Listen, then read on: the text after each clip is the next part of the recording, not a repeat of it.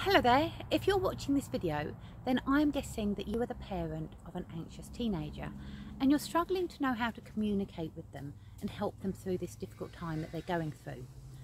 If that sounds like you then obviously you care a lot about your teen and you want what's best for them. But sometimes it's hard to relate to what they're going through if you haven't struggled with anxiety yourself. So I just want to explain a little bit about how anxiety works but before I do that, you may be thinking, who am I and how am I qualified to tell you this? Well, my name is Jennifer Roblin. I am an anxiety specialist and I have worked with hundreds and hundreds of teenagers and young adults and adults in the workplace to help them get to the root cause of what is making them feel anxious. Now, anxiety is a feeling of fear. It's completely natural and it's instinctive. So it's an elite, sorry, it's an evolutionary process and we have anxiety because its sole purpose is to keep us safe. Now, when we were all living in caves, there was a lot of danger all around us. There were tigers, there were dangerous animals everywhere.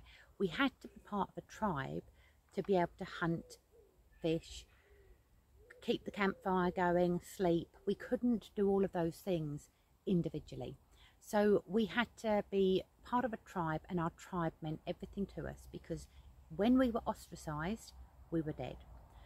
And children feel that same fear.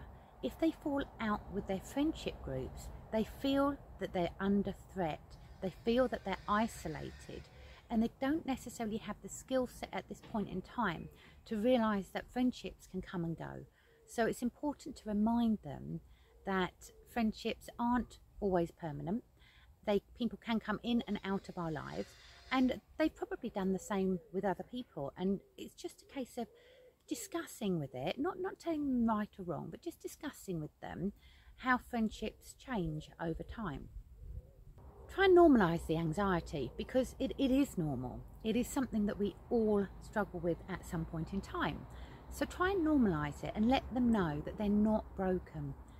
A lot of teenagers that come to me, they believe they are broken, they feel that they are damaged in some way, but remind them that anxiety is completely and utterly normal and it's our body's way of keeping us safe. So we have our fight and flight response so that we can stay alert, avoid danger, and carry on doing exactly what we were designed to do reproduce and keep the species going. So one of the other things that you might want to talk to them about is um, different words, different feeling words, so that they can understand that all emotions come and go, and fear and anxiety, stress included. Just the same way as that we're not happy 100% of the time, we're not sad 100% of the time, we're not fearful 100% of the time. All of our emotions come and go. So help them to understand that it's a flow it's a flow of emotions that we go through and we have the ability to change how we feel. So what is it that they used to do when they were younger? Because quite often that's the thing that we're passionate about. So did they like dancing? Did they like football? Did they like painting, drawing? Try and tap into what it was that they used to like and see if you can encourage them to get back into that activity because that will help them build up their confidence again, build up their self-esteem and help them to feel better about themselves. Now, sometimes when teenagers are anxious, the behaviour can be interpreted, interpreted as naughty behaviour, um, such as avoiding school. Just bear in mind that they are genuinely fearful about something. Something is frightening them and they may not understand exactly what that is, but that fear, that threat is very real to them. So, so hear them out when they're trying to talk to you about it. Don't don't try and tell them that it's not true or you know the situation isn't how they believe it because they won't believe otherwise at this point in time.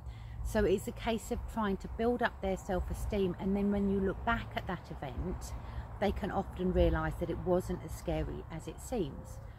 So if you're aware that they've had anxiety previously, what was it they were anxious about? And when that situation arose, was it as bad as they expected? Because the chances are it wasn't. So if you can just help them understand a few of those things, help communicate with them, give them different feeling words that they can use so they're not just anxious all the time. They might be tired, they might be hungry, they could be frustrated, they could be bored, they could be overwhelmed. There's so many other feeling words that we can use to help describe exactly what's going on for us.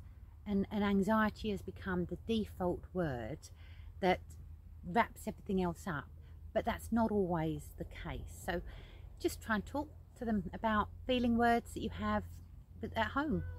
So I hope that's helpful. And if you've enjoyed that, then please like and subscribe to my channel. And if you need further help, um, there's a link in the chat where we can have a no obligation chat if you want to talk anything through with me and I can see how else I can help you. So I hope you enjoyed that and I will see you again soon. Thank you.